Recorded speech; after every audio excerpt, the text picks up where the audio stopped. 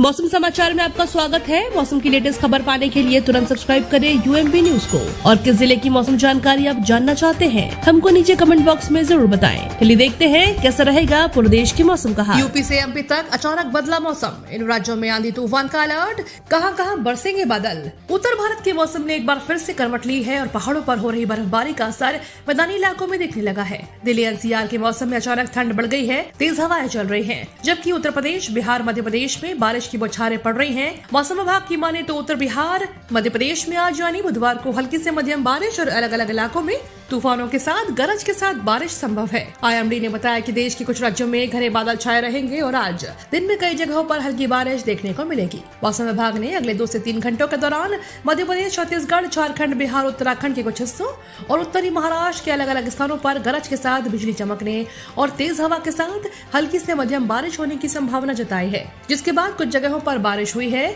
इतना ही नहीं, आईएमडी ने बताया कि मध्य प्रदेश के भोपाल, विदिशा, जबलपुर समेत कई जिलों में बिजली गरजेगी और बारिश होगी।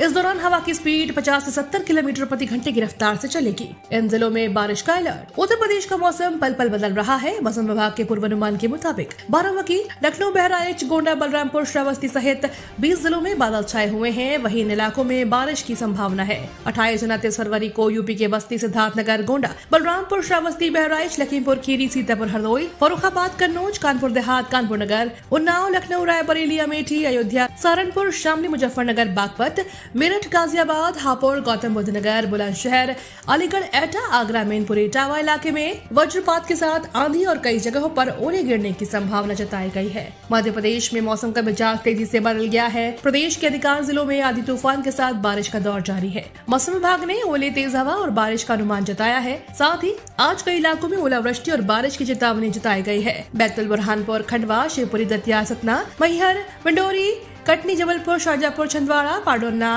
मंडला, पन्ना जमोच छतरपुर, टीकमगढ़, निवाड़ी, अनूपपुर, उमरिया जिलों में चेतावनी जारी हुई है। मौसम विभाग ने पश्चिमी विक्षोभ के कारण राजस्थान के जिलों में तेज बारिश और कुछ जगहों पर ओलावृष्टि की संभावना जताई है। मौसम विभाग का कहना है कि पश्चिमी विक्षोभ के कारण जयपुर, बीकानेर, जोधपुर, अजमेर, अलवर, जैसलमेर, चुरू, सवाई, माधोपुर, सीकर, भरतपुर सहित कई अन्य जिलों में भारी बारिश होगी और झुंझुनू, श्रीगंगानगर, चुरू सहित कुछ अन्य जिलों में ओलावृष्टि होगी। उत्तर बिहार के उत्तर पूर्व बांग्लादेश तक चक्रवाती परिसंचरण का क्षेत्र बना हुआ है। वही पश्चिमी विक्षोभ का प्रभाव पश्चिम हिमालय के आसपास उनतीस फरवरी को देखने के आसार है। इनके प्रभाव से दो से तीन दिन में पटना सहित उत्तरी दक्षिणी भागों में, अधिसंख्य भागों में एक या दो स्थानों पर मेघ गर्जन के साथ हल्की वर्षा की संभावना है। इन जिलों में बारिश के आसार। वहीं 24 घंटों में पटना समेत रोहतास, बबुआ, कैमूर, औरंगाबाद, अरवल ज़िले में मेघ गर्जन के साथ हल्की बारिश की संभावना जताई गई है। वही शेष भागों का मौसम शुष्क बना रहेगा। मंगलवार को पटना आसपास के इलाकों में पूरे दिन बादलों की वजह ही बनी रहेगी। छत्तीसगढ़, मौसम विभाग के मुताबिक पश्चिमी विक्षोभ और बंगाल की खाड़ी में नम हवाओं के प्रभाव से प्रदेश के मौसम में एक बार फिर से बदलाव आ गया है। बादल छाने के साथ बारिश हो रही है। अधिकतम तापमान में भी गिरावट दर्ज हुई है। आज से रायपुर समेत कई संभागों में, कई जिलों में बारिश होने की संभावना है। कई जगहों पर गरज चमक के साथ वज्रपात होने की शंका है।